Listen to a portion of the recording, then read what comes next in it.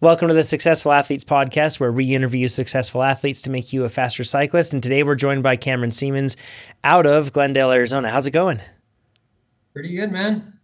I appreciate you doing this. You reached out through trainerroad.com slash podcast to get onto this podcast and shared your story. And it's got some interesting things that apply to a lot of us, even though the context is pretty different. So you right now are a third year med student or med school student. And you've been training all throughout this process. So I want to talk to you today about how you fit your training in amongst all the craziness because chances are most of us listening to this have some sort of responsibilities that lie outside of just training on our bikes and getting faster. And as a result, we have to find ways to fit it in. So, but before we get into anything, can you give us your background first? How old are you? What's your family situation like? And then let's get into talking about med school after that. Yeah, I'm 26 years old, married, just my wife and I, no kids yet. So. And then med school, most people, I think we're familiar with the concept of med school, but possibly not the reality of it.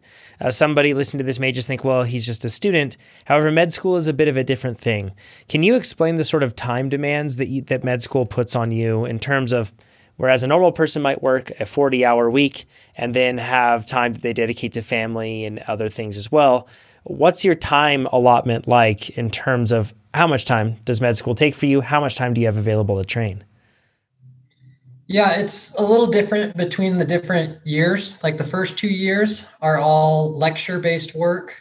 And thankfully, now with technology, we're able to do a lot of our lectures online, but it's obviously a considerable amount. In my school, we would have two exams every week, every Wednesday and Monday morning. And so as you ramp up to those, you'd obviously increase your studying just to review all the material. And I would say I'd probably put in 50 to 60 hours, I'd want to say like 10 hour days, Monday through Saturday, just about just to keep up. And then I Sunday I've always tried to keep off as much as I can just to keep my mind fresh. Yeah. And now, now in the third and fourth years where I'm at now, um, we get a chance to rotate through different clinics in the area. And that assumes more of a normal work week depending on which rotation you're at. Obviously, surgery has higher demands, family practice clinic less so. And then on top of that, you still have to study because we have exams at the end of each rotation block. And so you have mm-hmm. to keep up with the material and prep for those exams on top of your work. So a partnering of practical experience and then also traditional studying and the traditional academic process that you go through with studying tests and, and that circular movement. Is it when you mentioned that you were dedicating somewhere around 10 hours a day to it, that's like the time that you spend to lectures and to studying. Are you also like spending time studying outside of that as well? Or did you try to time box that so then you could dedicate yourself to other pursuits? I tried to box it as well as I could, and I wouldn't do it necessarily like 10 hours straight. I'd do couple hours here, take a break, couple hours here, like take break for food and stuff. Mm. And then yeah, that that's kind of how I did it just for my own mental health. yeah, of course, because that's a big concern for those that uh, the the demand is really high. Uh, number one, to get into med school, you have to have you have to be a consider or a very like an exceptional applicant to be even get into to med schools. It's difficult once you get there, competition is high and it's you really have to do a lot of work to be able to maintain that. So it's interesting because it's not like perhaps even though you time box it to 10 hours, it's probably not like you could decom- like completely disconnect from it and live avo- I guess devoid of that stress for that time period that you had. I assume that it's also in addition to the time that you dedicate to it that it's also a pretty stressful endeavor, like a high stress thing. Yeah. Is is that something that let's dive into training with this. Did that compromise your training at all? And how did you fit your training into this schedule? Um, with training, I you just kind of have to have a healthy relationship with it is the best way to put it. I obviously some days I've I've got a big test coming up or I'm in the hospital for the whole day.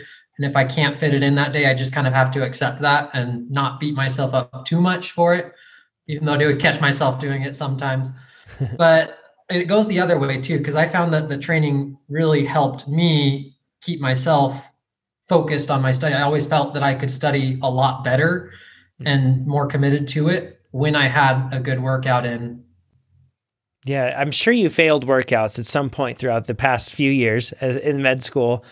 How did you manage that sort of discouragement? Because you're kind of with med school, you're kind of on a train that keeps going and you have to stay on that train. You can't just turn that down. Your training is the one that has to budge. Yeah, it just comes down to setting my priorities. And obviously, my wife and school took priority number one, and training was there as an additional thing. And where it when it didn't help me, like when I felt like I was too fatigued and I needed to take a break coming into a test, I'd kind of play it by ear like that.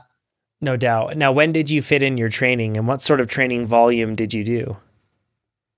Yeah, I fluctuate mostly between mid and low volume, depending on how much running I'm doing or not. We'll get into that later. But mm-hmm. um, normally, I find I do the best with early mornings. I normally get up between 4:30 and 5 a.m. and just try to knock it out first thing in the morning. And that way I can get the rest of my day and not have to worry about setting aside time for that. But with the clinical rotations now too, sometimes those start really early. And so occasionally I'll do it in the evenings as well, just depending on which month I'm doing. Mm. And when you get up that early, how have you fueled that? How do you, because that's a big barrier that a lot of people find is that getting up early, it's hard to bring about the motivation that usually comes with practice, but the fueling part of things is really tough. So, so how do you solve that? Yeah, that's a huge thing that I've kind of played with over the last year or so. Um, at first, I wasn't really doing anything unless it was two hours or more, which wasn't very often during the week. But in the last year, I've started feeling a lot more. And now, pretty much every time I hit an hour and a half, I take in about 80 to 90 grams an hour of carbohydrates, um, both between a mix that I make with some maltodextrin and Gatorade powder, and then some bars to add to it.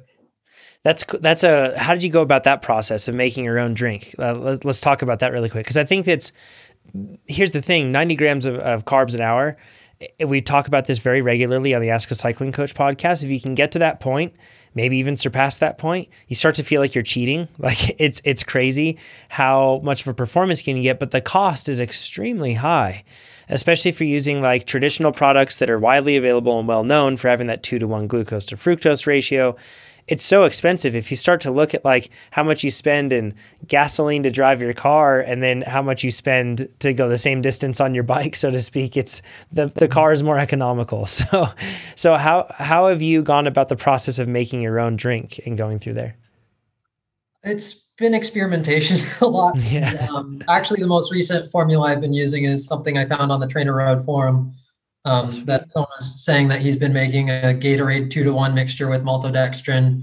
And then I add a little bit of sodium citrate to it too, just to get a little bit of extra electrolytes in because once you water down the Gatorade, you don't get as much of the electrolytes. But I've also gone through times where I use like maple syrup and table salt. Um, I've used liquid IV, like the little electrolyte mm-hmm. packets before. Uh, I found that this Gatorade, this seems to be the best one that I've been able to tolerate well and is really cheap and easy. So that's just standard Gatorade powder. And then where do you get the maltodextrin? Off of Amazon. You can find it Perfect. pretty online. Yeah. Yeah, I assume you buy it in some sort of a bulk container, and then you're able to to even drop the cost even further with that. Mm-hmm. So that's that's a cool approach, and I think that we talk about, and you should head over to the Trainer Road forum uh, right here, like uh, like Cam's saying, because that's a good way for you to be able to find out a lot of information, and helpful people will be able to answer any questions you have with that. I've experimented with making my own as well, and and it's a cool process, and it makes you faster. So, uh, with that, now let's talk about how you actually typically fit it in. You said you trained earlier in the morning, and then after training early in the morning, you would then go and fulfill your needs and duties with with law or with med school. How did you ever find just with how rough testing schedules end up being, finals, everything else like that, when you were missing workouts or when you had to adjust them, how did you rebound from that? And how did you keep it, everything on track? Did you have any sort of formula or things that you considered beforehand when you knew you were going to miss workouts? Um, going into it, not necessarily. I more just fit in more training when I have more time. Like if I have a three day weekend, I go the weekend warrior route and just mm-hmm. load it all in on Saturday and Friday or Monday, whatever day it's off. Um, yeah. But it's just being nice to yourself and giving yourself a break when other priorities trump training and then trying to be as consistent as you can because finding a routine really helps me stay on track with my studying with my tests and everything else yeah and now how has that changed with clinical rotations now that you're in your third year and then of course going into the fourth year have you had to change things profoundly in terms of how you structure schedule or manage the adjustments yeah that one it's i'm still experimenting because rotations change each month. And so it's a different schedule every single month. And I can't really predict what the next one will be till I get there. Mm-hmm. And so a lot of it's on the fly. um, makes it hard to sign up for any events, but I mean, that's not going on right now. So I don't have to worry too much about that. But um, yeah, it's just more seeing what time I have available. And if I can fit it in the morning, trying to do that. And if not, trying to find what time I can in the afternoons to do so. Sure. Um, but yeah, that flexibility is the key thing that I recognize there's rather than fretting about what you can't control and can't predict, you simply are ready to adapt. And the priorities have to be what they are, right? Um, let's get into some of the events you've done throughout this period of training, med school, everything else, and how you use Trainer Road to do the whole thing. So, first one I want to talk about is the triple bypass. That's a common century or a, a famous century, I should say, that people have heard of. It's in Colorado, uh, more or less, uh, kind of parallels I 70 in a lot of ways. Uh, and it starts just inland or just into the mountains from Golden, Colorado, and then you end up at Vail. Uh, three passes later, 12,000 feet of climbing later, somewhere around like 120 miles. Uh, it's a big ride. So, how did you plan for that? Because in many cases, that's an ultra, that's considered almost like an ultra endurance sort of event for a lot of people. But you with being in med school, you couldn't just put in 12 hour days, everything else. So, what sort of plans did you follow with Trainer Road and what sort of improvements did you see on that process? Yeah, um, so that was back in 2018 when I did that, which was the summer right before I started med school. But mm. obviously, I was still going through like the MCAT sure. before into that application process. But my time was a little more free then, and I tried to cram it in then. But that was actually my first century. So I wow. came in a little humbled and realizing the year before was the first year I'd started cycling. My father-in-law is a big cyclist and he kind of got me into it in 2017. And then I signed up with him originally to do the triple bypass because he's done it a couple times. And he ended up not being able, he had to pull out last minute because he was having some muscle strain issues. And so I went off on my own and I did the mid volume sweet spot one and two, mid volume sustained power build, and then mid volume um, century plan were the ones oh, that I perfect.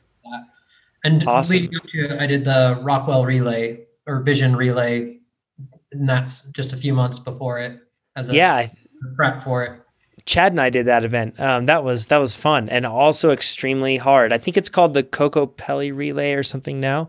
I think uh, that's current name, yeah. Yeah, super cool event. It goes from from east to west across the uh, southern portion of the state of Utah. Um, so, so with this triple bypass, the, the plans are awesome. That was pre-plan builder. Now we have plan builder that builds it all out, and that's what it would give you. Of course, it would structure based off your time, but uh, so you followed mid volume and you went into that big long day and then you were also you didn't have the normal helping hand that you anticipated having. So kind of your, first foray into it and you were alone.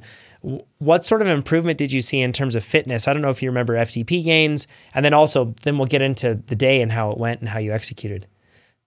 Yeah so the reason i signed up for trainer road was specifically to train for that event really and mm. that's where i first kind of got into indoor training um, I remember my first test is before the ramp test came out, and so it was the 20 minute test. But I think my FTP was like in the 190s, like 192 or something, if I remember right.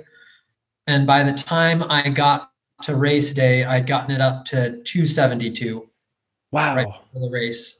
That is a massive improvement. Um, and and how much? Yeah, the gains are real. and how much did you weigh to give people a, a point of reference for that?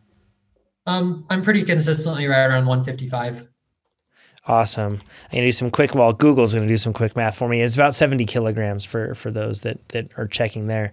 So that puts you right around somewhere around. You're just under four watts per kilo. I would assume with that, um, with just doing.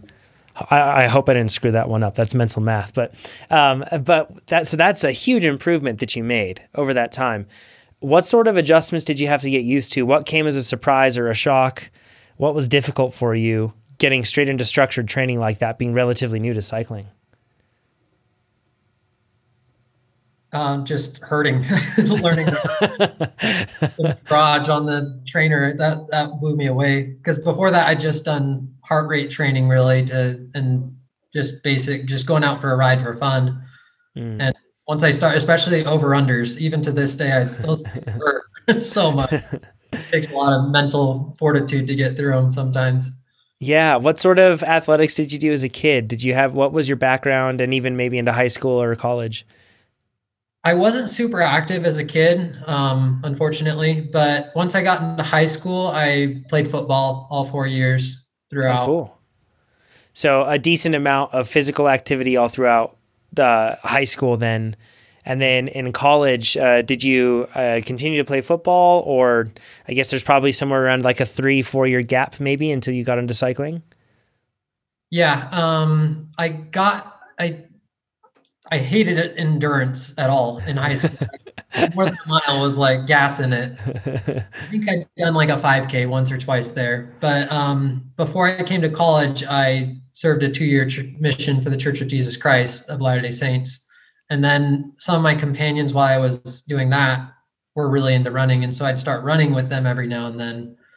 And then I don't know where it came from, but in my head, I had this idea that I wanted to do an Ironman and triathlon. Yeah, my dad had done uh, Olympic tri when I was probably 11 or 12, something like that. And so it's already been my, always been in my head, like, oh, that was really cool. Like, that was a cool experience. And so after I came back, um, I started doing a lot of running until I got a bike mm. just before training for all that stuff. So the original intent was intent was triathlon, uh, but then you deviated over to cycling for a bit, or perhaps better said, focused on cycling at, at first with a triple bypass. Uh, so let's talk about that event, and we'll just briefly, because we'll end up moving on to other things. We could probably dig into the triple bypass for hours here, but how did you end up doing on race day? What did you have a huge blow up moment? I mean, you were so new to doing any sort of an event like that. Uh, there's probably nutrition, equipment, plenty of other things came into play. How'd it go? Um, thankfully, I ironed it out a little bit by doing that Kokopelli Rockwell relay because I'd done it the year before too, and that's that one blew up. The very first time I did yeah. that, I was shattered and had to drop out after my second leg. Yeah. Um, but doing it the second year, world's improvement, and then coming into triple bypass I remember hurting a lot and struggling to get into rhythm coming up the second pass, which is the biggest one. It's Loveland Pass. If I remember, it goes up to like 12,000 something feet. Very high. the aid station is like two miles before the summit. And so you stop and eat all this food and then have to oh. I remember that hurting. Um, and then just kind of grinding through the last little bit coming past that. But Hmm. Did you develop like a pacing plan that you were trying to stick to? What was the strategy? Yeah, um, if I remember right, I was trying to stick right around 67, 68% FTP. Um, I did go a little hard out the gate. I got a little excited, and mm-hmm. that's probably why I paid and suffered on the later stages of the race. But how'd you fuel? Like, uh, what did you uh, take in for drink and eating? I think then I was just doing pure maltodextrin with um, I think Nuun tablets. I was mixing Nuun tablets with maltodextrin was what I was doing, and then Clif bars as needed. Yeah, awesome. And what did you learn coming away from that? What were your big takeaways that you learned from that event from Triple Bypass? Even pacing is your friend. Out of the gun. Um, yeah, that, that's the big thing. Just learning to pace myself and knowing that I could go the distance and mm. stick your mind to it and keep going, keep pedaling. Well, this is important because you end up pivoting thereafter and you end up going for a half Ironman. Uh, which, how long was the gap between that?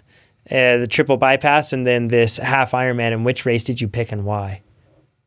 Yeah, my story may have been a little mixed up on the forum, but I actually did the half Ironman before I started. Oh, you did cycling. So that was in 2017. I done. I built up. I did a couple Olympic sp- tries, and then built up to a 70.3 right before I then started doing the longer distance cycling stuff the next year. Oh, cool. So so you had done you had done tri before, and then that ended up causing you to pivot over to cycling thereafter. Um, yeah. So I, what caused that? What caused the divergence from? Did you meet your goals in tri and you got to do that event like you had seen your dad do, but you did the half Ironman, or was it just a deviation over to cycling for a bit, and you plan on going back for a full someday? Yeah, more just a little bit of ADD. I, I yeah. like that's why I like triathlon, and even even still, I like throwing runs in. Even if I'm doing a dedicated cycling block, I just like variety. I feel like it makes me a stronger athlete too, like more mm-hmm. well-rounded. Um, I didn't necessarily meet the goals I wanted to and try. I plan to continue racing them, but just like to bounce around and change goals every now and then. Sure. So, which race did you do for the half Ironman, and then did you use TrainerRoad for that one, or was that pre your pre, before your TrainerRoad days?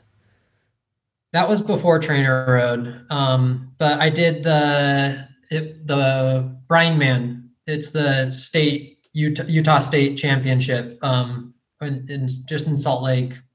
Oh, cool. Brine Man. I guess a play on the on the word salt and the Salt Lake. I assume. Yeah, the bike course around is really cool. You go across the bridge to Antelope Island and back. So. Oh, cool. And do you actually swim in the Salt Lake, the Great Salt Lake?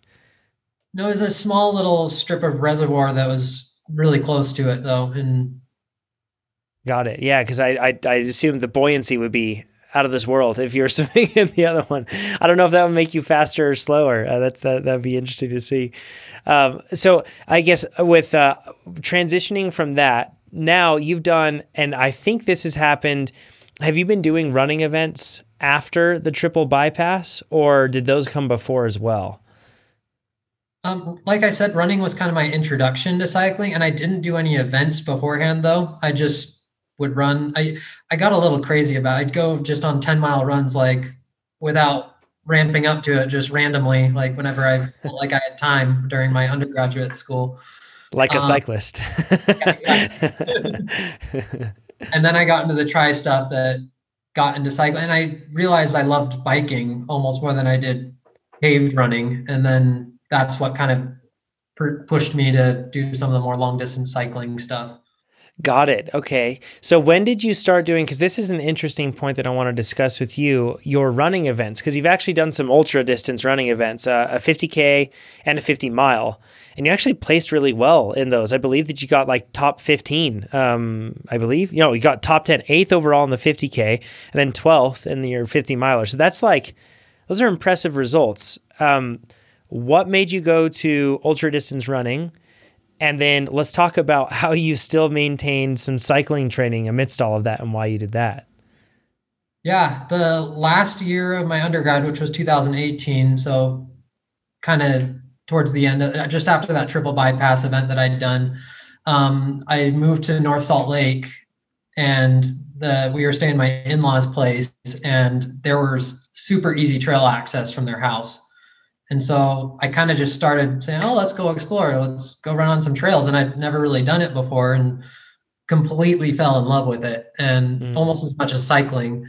And so coming into med school and the in fall of 2018 i kind of had the intention of trying to do an ultra while i was here and so in i think it was december 1st or 2nd first week of december they had a it's called the mcdowell mountain marathon which was the one i did that was the 50k that i did and that was my first ultra and so i went straight from triple bypass training to completely flipping it and going into long run training was that difficult at all to get used to that? And how did you get used to the running side of things? I know we don't, you know, specifically train runners here at Trainer Road, but it's a, uh, it's, there is overlap and there's a lot of questions around athletes that do both. So, was that a difficult adaptation period that you went through going from cycling to running?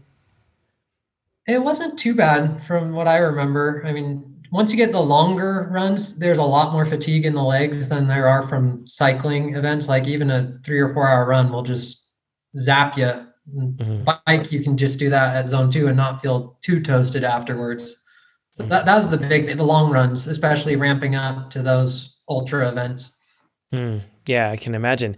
Uh, did you deal with any sort of injury uh, starting off with it? Cyclists famously uh, deal with plenty of injuries whenever they decide to go for a run. Yeah, I had a back injury, but that was before I started running. I didn't have any overuse injuries though once I started running. Awesome. Do you maintain any sort of strength training or PT, like a mobility routine at all? Probably not as good as I should, but I, I try to when I remember, just mainly doing planks and core work, and I'll throw in some push ups and pull ups, but nothing that I've been doing consistently. Sure. Um, so throughout your run training, uh, as I understand it, you still actually maintained some volume on the bike. What was your intention there, and what sort of training were you doing at that time? Yeah, coming off of the long cycling events, I realized how much I enjoyed TrainerRoad and how much of a workout I got from it. And so when I flipped to start doing ultra training, I had the intention of maintaining all the gains that I'd made. And so I, but knowing that I wouldn't have as much time, I flipped to a low volume plan. And I've played around with different ones. I think I can't remember which ones I was doing specifically. Probably just sweet spot base and maybe sustained power build if I remember right. But mm. uh, just mainly just getting an hour or two where I could. So, did you find, because this is the big question that a lot of people have, did you find any benefit from that sort of training transferring over to your running? Clearly, it would have helped you maintain as a cyclist, but did you find any benefit on the running side from that? I think so. I mean, I haven't compared it without cycling at all, so I mm. can't say for sure. But the big thing with running is, I didn't mention this earlier, but you can't just go and do threshold runs or sweet spot runs two or three times a week like you can in cycling just because your legs get so much sore there's a lot more impact a lot more risk for injury and so i'm a big believer in just mostly easy runs kind of like that 80 20 polarized training approach for running just to avoid injury mm. um, and so because of that i found that trainer road was super helpful because it gave me that intensity and really tuning the other sides of my endurance in aerobic and anaerobic and VO2 max training while still being able to maintain just easy zone two running on top of that with strides mm. thrown in here and there. It's an interesting point. We talk about this all the time on the podcast, but uh, when it comes down to it, race day performance is all about how you've trained the energy systems that you're going to use on race day, right? And your body doesn't know that it's 50 Ks or it doesn't know that it's, you know, uh, whatever mileage, the distance. It just cares about what energy systems it's going to use and what that sort of strain on that energy system is going to be. And it's interesting how it basically, when you can target that with specific training, you can have those benefits. Clearly, there's muscular benefits and everything else that you were getting from the running, but it is interesting. There, there can be some translation there. Um, once again, another point that just goes down to training energy systems. Um, so with the running stuff, how is it different? Like, have you changed your nutrition? Do you have to eat and drink differently when you're running versus cycling, doing an ultra event? I did at first. It was a lot harder to tolerate food at all, especially like those really concentrated mixes. I'd get like vomit in the back of my throat sometimes at the very beginning of it. And so I'd had to tone it down. But over time, I've built it back up now where I can do 300 calories an hour, either biking or running without too much of an issue. Nice. And then what about with the the running side of things? Did that detract from your cycling? Like have you noticed that it's dropped a lot as a result of focusing more on running? I it hasn't dropped too much. I right now I kind of fluctuate between 240 to 270 watts for my FTP. Um, mainly above 250 though for the most time. Mm. Um, so it hasn't it hasn't detracted too much just because I like to keep that cycling volume in that probably at least maintains my cycling fitness where it is. Sure. So that means that you're probably like a, a good sweet spot for you is hovering somewhere around three to 500 TSS, somewhere around there. I assume with on the bike, somewhere around three to 400 maybe. Um, and you can maintain with that. And then if you rise it up from there, you could get even more, sure. But that's cool to see that you've kind of like found like the spot where it's like a floor almost that you don't drop uh, down below. I want to talk about what's next for you. So there's a number of different things. First of all, let's kind of jump back to med school. What's next for you? Because you might be moving and who knows, they might not have uh, events, running stuff, anything else like that. Do you know what you're going to do in terms of professionally speaking after med school? Yeah, um, I don't know where right now because with med school, after you graduate, you have to apply for residency positions. And kind of like coming to med school, you throw your hat in the ring and see where you match and where you end up going. So it'll be an adventure going forward there. but right now, I'm most interested in a field of medicine called physical medicine and rehabilitation. Mm. And I'm hoping to be able to do a sports med fellowship from there. But in that residency training, we also learned to deal with spinal cord injuries, traumatic brain injuries, um, amputee rehab, all kinds of stuff. Mainly, the reason I like it is because it's helping people move. And I've gotten a lot of benefit and enjoyment from learning to do that. I wasn't always athletic, and I want to be able to help other people get that too and enjoy it as well. That's awesome. How cool. Um, thank you for doing that, by the way, for for pursuing something a noble cause like that. I, I, something that comes to mind right there is Craig Hospital, and uh, that that one out in Denver, they do a lot of work with spinal cord injuries, brain, uh, some some severe brain trauma injuries, everything else like that. So, um, and Craig, by the way, for anybody listening to that, anybody at Craig Hospital, thank you so much for all the great work you do to help out plenty of cyclists that have been in some tough spots and triathletes too. So, uh, now let's talk outside of the professional side. What's next for you in terms of events? You've done Ironmans or half Ironman, you've done centuries, you've done ultra runs uh, are there any sort of formats that you're looking at next, like racing formats that you're eager to do? Yeah, I still want to do a full. I in 2019 I was training for one, but it got canceled because it was a small local event and didn't get enough people to register for it. So that one, and I did I did all the mid volume training for it in a month out. They said, "Oh, oh we have plug." So what that was, was, that like? What was that like to go through that full like the the full distance training plan process at mid volume for you? Was that uh, did you see good improvements in terms of of training on the bike, on the run? That's interesting to hear.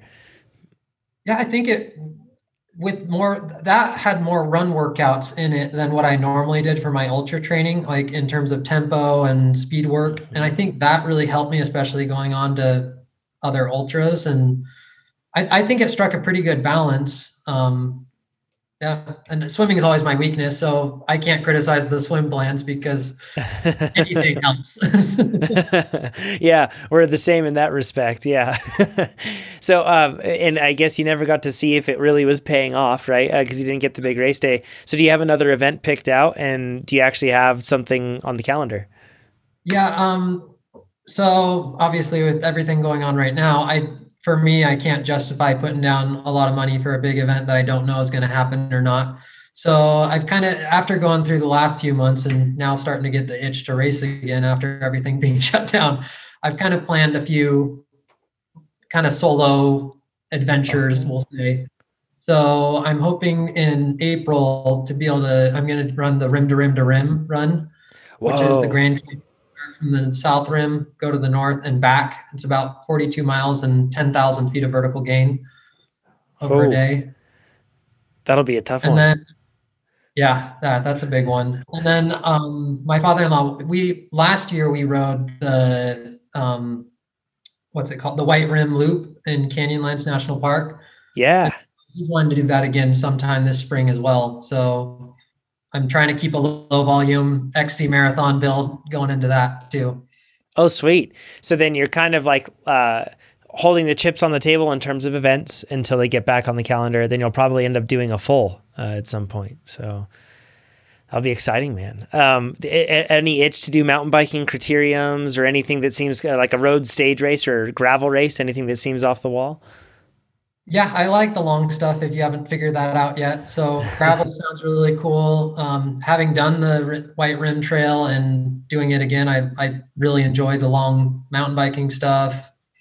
Um, yeah, any not so much criteriums. I've done some Tuesday night crits here and doesn't scratch the self torture nature of the long.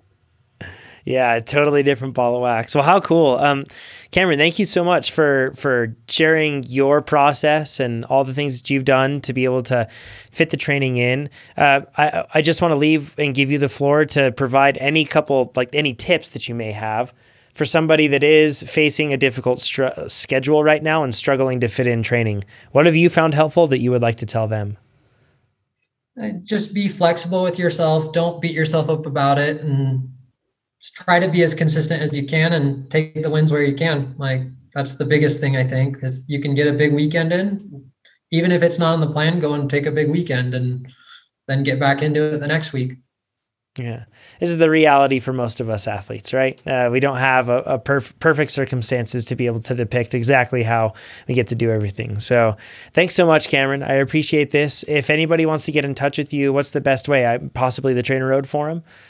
Yeah, yeah, that's probably the easiest way to reach me. I, if I remember, I think my handle is like Sea Monster on there or something like that. Cool, clever, awesome.